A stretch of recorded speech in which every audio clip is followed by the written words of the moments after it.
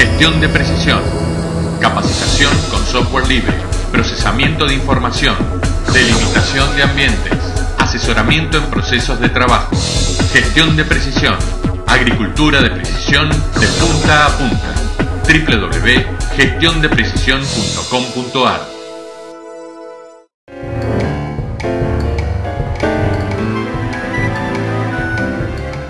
Gracias por seguir con nosotros. Continuamos compartiendo Campo de Precisión.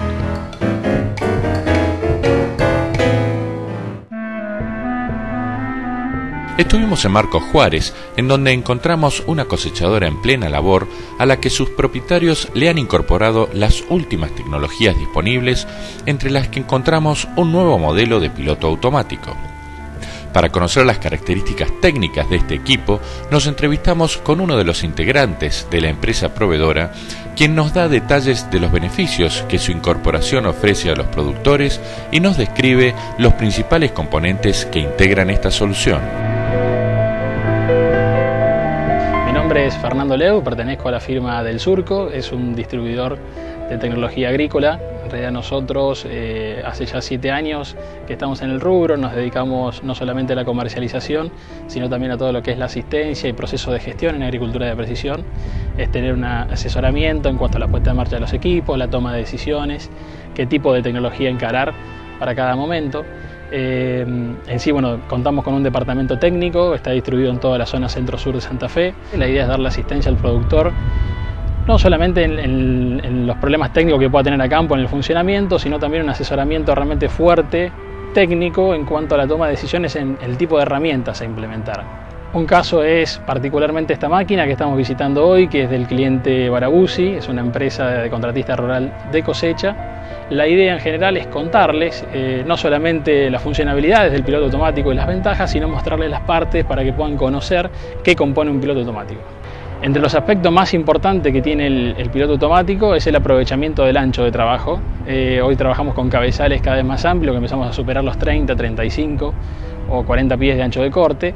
Eh, eso hace que por una cuestión de visibilidad el operario no trabaje al 100% de trabajo, siempre están con un espacio libre de entre un 5, un 8 o un 10% de plataforma, la cual obviamente incrementa en costos, en tiempo perdido.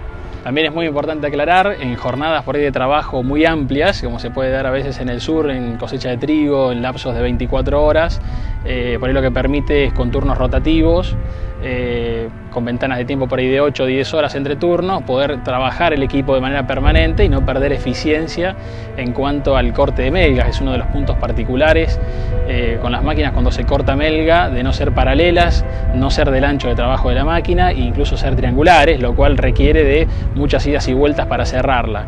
En realidad con un piloto automático cuando cortamos una melga, al cerrarla lo que va a quedar es una franja de mismo ancho, de punta a punta, del ancho del cabezal. Bueno, comenzando a enumerar las partes del piloto automático, aquí a mis espaldas se puede ver en la parte más alta de la máquina lo que es la antena GPS. Este equipo particularmente tiene un GPS de nueva generación, es algo de lo que recién hoy empezamos a escuchar en tecnología GPS, es un sistema que tiene 256 canales. Eso en realidad lo que nos comenta es que puede estar trabajando con 256 canales al mismo tiempo o 256 satélites al mismo tiempo. Entre las cosas que soporta, que lo diferencia muchísimo de un GPS estándar, es que trabaja, como normalmente nombramos el sistema GPS, como un sistema de posición satelital, es un sistema que tiene un propietario, el sistema de posición satelital es un sistema que tiene un propietario. GPS en realidad es el Geoposition System que pertenece al Departamento de Defensa de los Estados Unidos. Este equipo lo que permite es trabajar también con sistemas alternativos, como es el sistema GLONASS, que es el sistema ruso que también está operando. Eso lo que nos permite es tener mayor disponibilidad de satélites en condiciones o temporadas del año particulares, donde por ahí estamos con poca cantidad y cuando trabajamos en contra de una cortina de árboles o problemas atmosféricos nos pueda llegar a generar perder la, precisión que necesitamos. El tener más canales de trabajo, eh, este tipo de GPS de nueva generación, lo que nos va, nos va, a permitir en realidad es que el equipo pueda realizar mejor los cálculos en momentos complicados donde puede ser trabajando en contra de una cortina, cuando disponemos de una sola constelación, una sola constelación vamos a tener posiblemente visibilidad de 5 o 6 satélites. Trabajando con un sistema dual podemos estar trabajando con 12. O sea, lo que nos permite es estar usando dos sistemas GPS, malmente nombrado, por un lado GPS, por otro lado GLONASS, que es el sistema ruso, tener muchísima calidad de señal y disponibilidad de satélites. Cuando, si bien no es un problema grave, pero se da en situaciones particulares y en lugares particulares del país donde podemos tener limitantes en la visibilidad de satélites. Eso lo que nos permite tener mayor seguridad y tener eh, mayor confiabilidad del sistema. Este tipo de GPS lo que nos permite es tener muy buena calidad no solamente en posición horizontal, que lo que llamamos nosotros, que es la unión entre pasadas en agricultura o el ida y vuelta de la máquina, lograr precisiones de 2 pulgadas o de 1 pulgada, sino también tener muy buenas precisiones en altimetría, lo cual es muy importante para la generación de mapas de rendimiento. Este tipo de sistema de pilotos automáticos se permite conectar a cualquier monitor de rendimiento del mercado y al, mismo tiempo que va a estar registrando el monitor de rendimiento la latitud y la longitud de cada uno de los puntos y el valor de rendimiento, va a registrar también la altimetría, que es un dato fundamental en algunas zonas para definición de ambientes y aplicación variable. Respecto a la precisión GPS también, una de las cosas particulares es en los sistemas de pilotos automáticos eh, siempre hablamos de errores, errores del sistema en sí, en realidad lo componen dos errores. O sea, existe el error de la posición GPS, que es el sistema que indica la guía hacia dónde tiene que ir el piloto.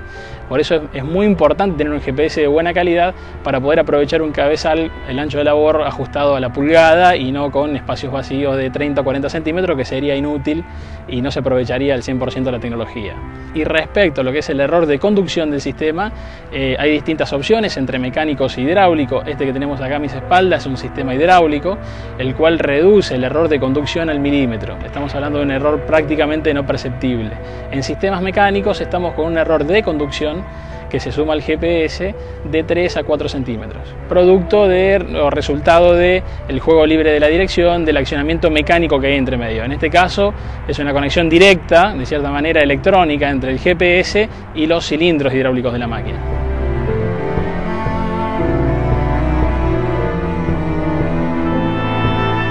La próxima semana continuaremos con esta nota revisando en detalle los diferentes componentes que se integran en el equipo para el correcto funcionamiento del piloto automático.